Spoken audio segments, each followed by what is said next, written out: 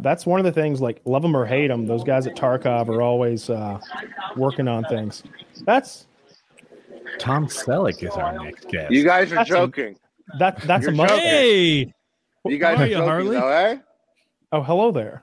I love that I got the call. They're like, "Yo, you want to come through, hop on the podcast?" I'm like, "All right, it's got to be done." And I come and you guys are like, "Yeah, Tarkov." So, anyways, about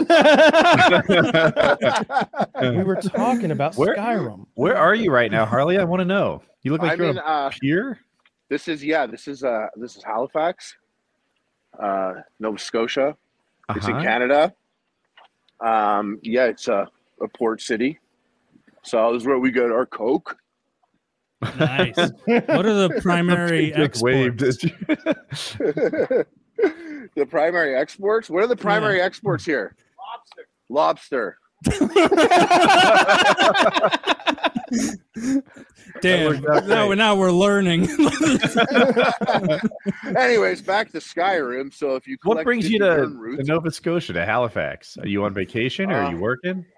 yeah, a, a mix of both. Do you guys know? Well, it was vacation, so you guys hit me up.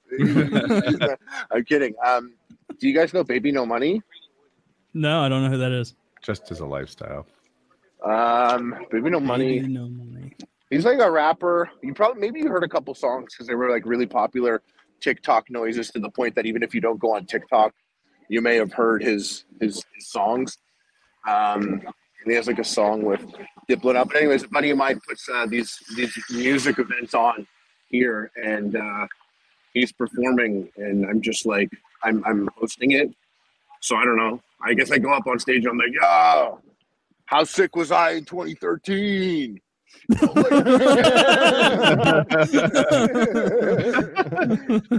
when you guys were in late grade school.